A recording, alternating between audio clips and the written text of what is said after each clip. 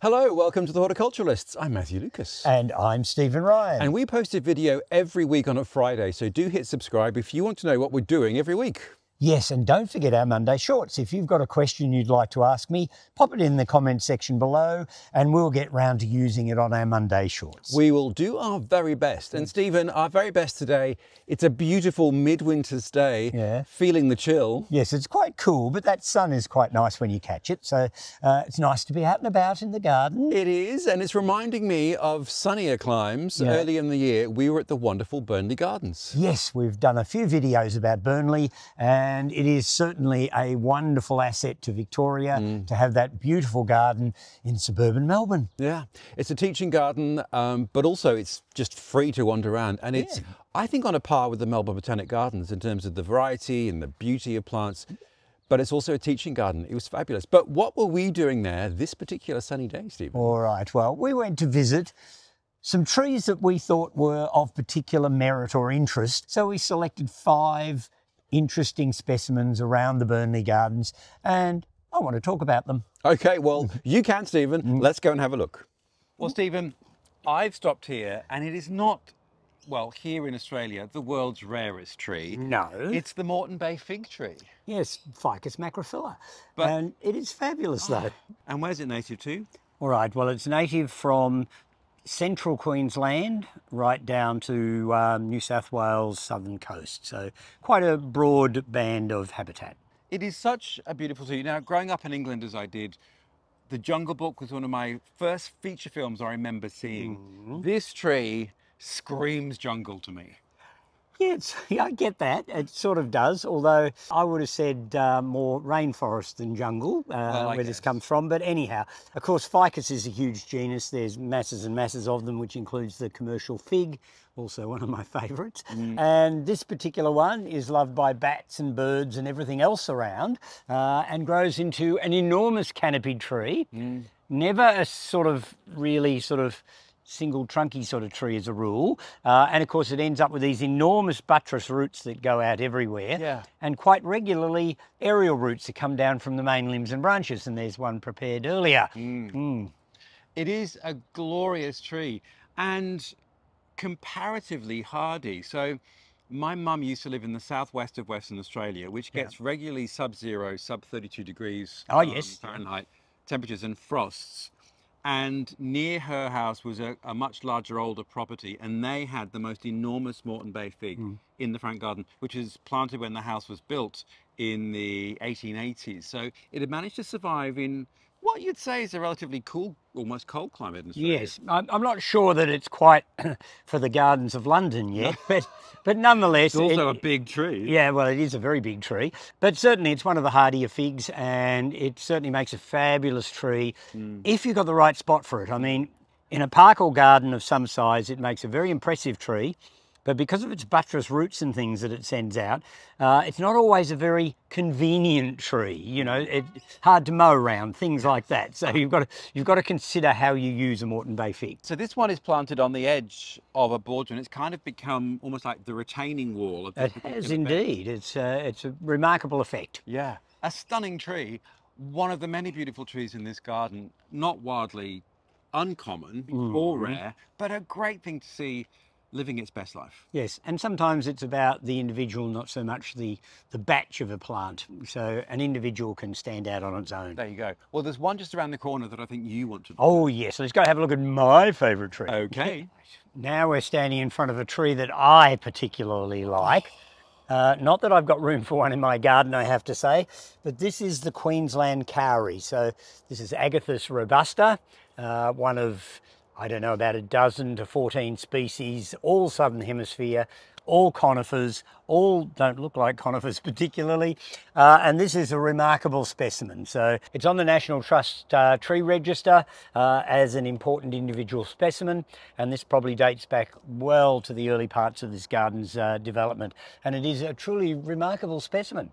And we saw another one, probably the similar vintage in the Melbourne Botanic Oh, Gardens. yes. So we'll link that video. Yes, we did And as you're walking up, just it is just the most incredible. The trunk and the bark. Yeah, it is. It's just beautiful. Yes. It would turn even the most jaded into a tree hugger. So a, a bit of sort of care and conditions then. It's much further south than its native range. Oh yes, yes, because this comes from the mountains up in uh, northern Queensland. So it comes from quite tropical climes. It's surprisingly drought tolerant and also comparatively cold tolerant. But having said that, as a young tree, it will not cope with you know heavy frosts of more than a, a degree or two. So it's not for uh, those really cold climates, unfortunately. What a beautiful tree. It is. It's stunning.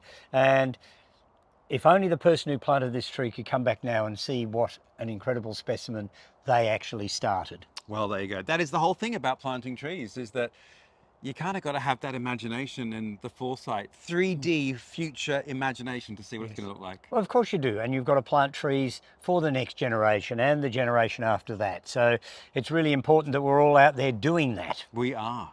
Well, here we are standing in front of a border with a tree in the background, which does knock your socks off a bit. It's a brachychiton, so one of the bottle tree family. Brachychiton bidwillii in one of its forms. They come in sort of pinks to reds. And we've hit it at a time of the year when it's in bloom.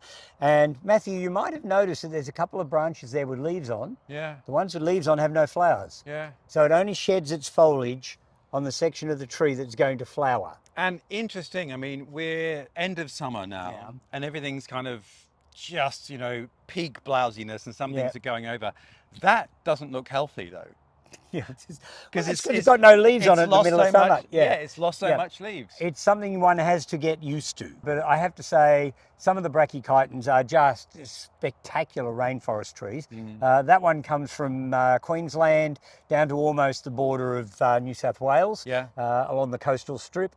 Uh, and it is a truly spectacular tree. And that's got to be quite some years old. It's so Mm. beautiful. The flowers are incredible. And we did come across one of those too in the Melbourne. Oh, the system. the yeah, University Garden. Yeah, the University Garden at the System Garden. Stunning. Uh, and tis, it's a really beautiful tree. so just to clarify, it drops its leaves before it flowers, and yeah, then it at the time it's again. about to, and Yeah. then once the flowers are finished, it will then leaf out again. So it's not sort of deciduous in the classic sense. No, no, it's not because it drops its leaves in the middle of summer usually. So there you Odd, go. but Mm. stunning in bloom. All right, on to the next. All right. Well, that brachychiton, I think, is one of the most spectacular I've seen. It's a beautiful tree. Yeah. Wonderful form, and it stands out superbly in the back of that border. Yeah, yeah, yeah. And the agathis, your one of your pet fetishes, Stephen. Yeah. Tropical conifers. I adore them. Uh, fortune, unfortunately, I don't have a garden that is climatically suitable for some of them, Mm. uh, and also not big enough for some of them. You're squeezing a few tropical conifers in here, though. Oh yes, I've got the New odd Guinea. ones hiding around the place, and I'll probably be well dead before they become a problem. So I'm not going to be worried about what they might do in due course. Well, what they might do in due course is interesting because one of the people that we met at Burnley is the wonderful, um, I don't know if he's the lead arborist, but he's an arborist attached there, Matt Sauvarin. And we made a video with Matt about tree care. But while we were talking off camera, he said, Oh, there's these two dreadful trees that never do anything.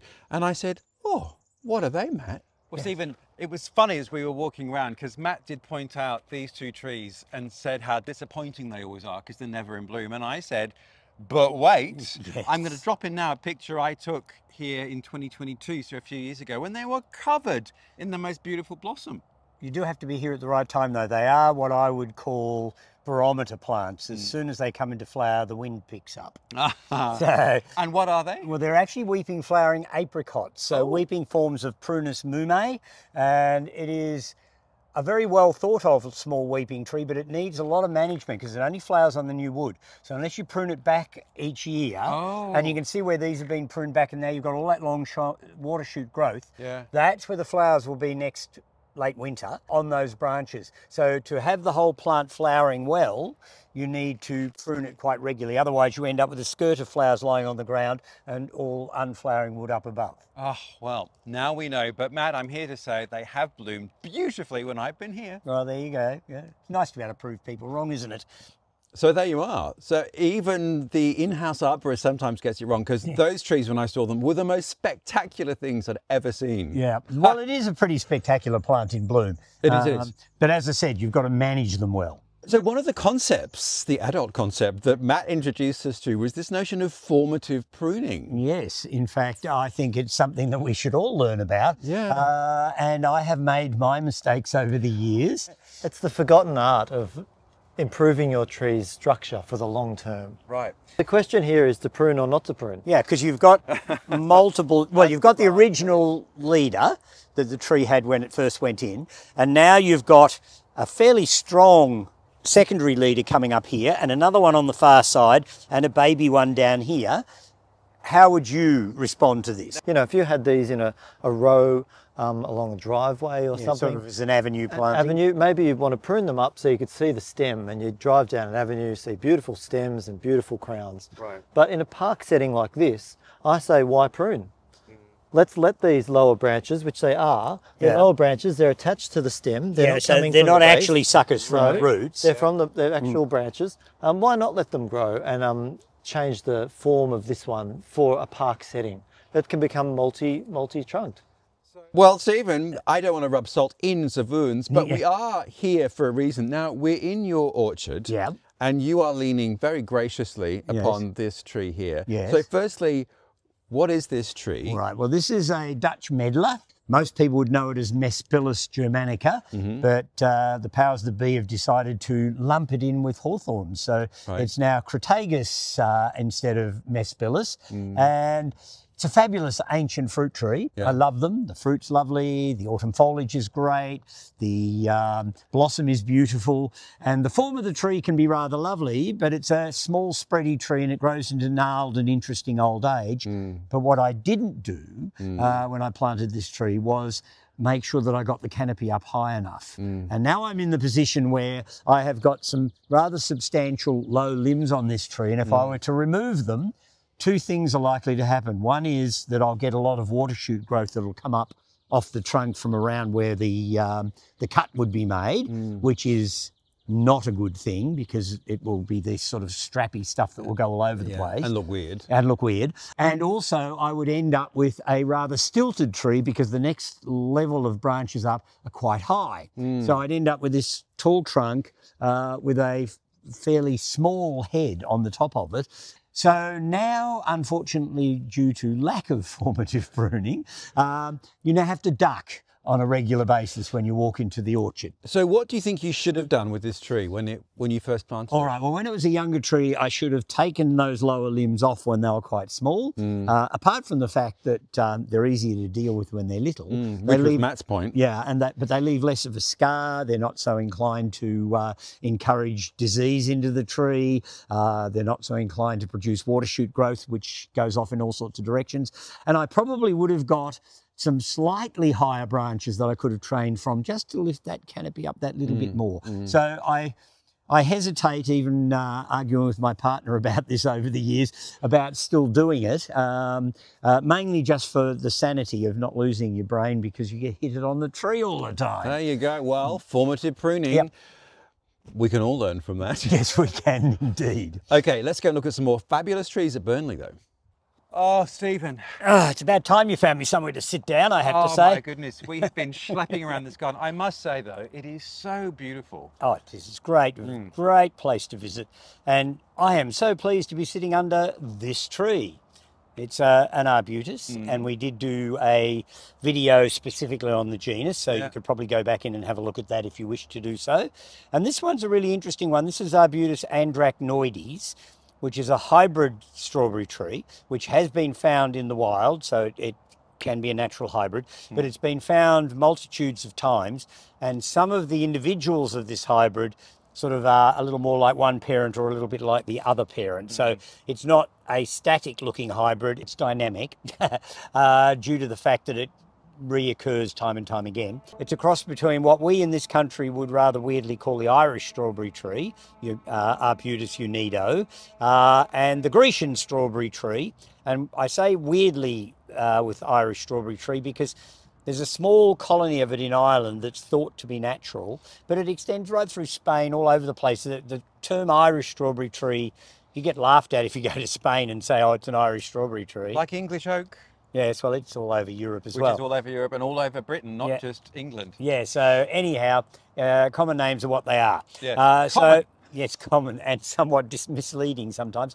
But this has exquisitely beautiful bark, mainly inherited from the Grecian parent. Grecian good looks. Yes, it's exactly. It's got that wonderful look about it. The Irish strawberry tree, as we call it, Unedo, tends to have a rough brown bark of no particular merit. The tree itself can grow into a beautiful gnarly tree, but this hybrid is just lovely. It's stunning. The bark is exquisite, and I must say, in our horticultural journey, bark never really figured in my imagination Yeah. in terms of placement of a plant or considering it as a choice. But Yes. um, obviously, the more you get attuned to it, the more you see the place that bark oh, yeah. really has in the garden. And if it happens to be a beautifully formed and shaped and sculptural tree at the same time, mm. what could be better? Yeah, what could be better? Mm. Yeah, so there we go. Arbutus andrachnoides. There we go. Now I know the Moreton Bay fig is not particularly rare, No. but I love it as a tree. And in fact, I did see some um, in Miami when I was there earlier in the year. They are in subtropical and tropical parts of the world all over. They've become a very popular and important tree in large parks and gardens. Yeah, But it does need to be a large park or garden. it doesn't need to be large. It's a massive tree. Now, we sat under that arbutus and enjoyed our time there. Yeah. And it wasn't until a couple of weeks later, I was talking to somebody from Burnley, and it turns out that that tree was probably planted by one of the previous professors there um, and purchased from me. Stephen Ryan, your fingers are over everything. Oh, I, I have to say they probably are. So um, uh, it dates back to the sort of uh, early 1980s. So it would have been not long after I first started my nursery. Yeah, so there's some trees in Burnley that I probably supply Well, as well. right. You've always had a thing for arbutus. Yeah, yeah, they're they're well, they're a wonderful group of trees. Yeah. They're drought tolerant, they're heat tolerant, they're pretty cold tolerant. Mm. Uh, they're beautiful trees. Uh, they're of- of a moderate size so that they can be used in general Yeah, gardens. yeah. So I think they've got a lot going for them. There you go. Well, there's a lot going for Burnley. Uh, we'll put the website links below. Uh, there's a Friends Association too, so you can find out anything that they're hosting. It's free to go, Yeah. and it's a wonderful, wonderful place. Yeah, so go and visit Burnley. Yes, visit Burnley, and if you want to study there, you can as well. It's part of the Melbourne University campus. But Stephen, what might we be studying next week? Well, we could be going anywhere. Um, so it could be anywhere, anytime, and it could even be somewhere else in the world. Goodness me! To find out, you'll have to hit subscribe because we post every week on a Friday. Yes, and don't forget our Monday shorts. So if you've got a question you'd like to ask me, pop it in the comments section below, and we'll get round to using it on Mondays. We will indeed. But until then, we look forward to seeing you next week. Bye all.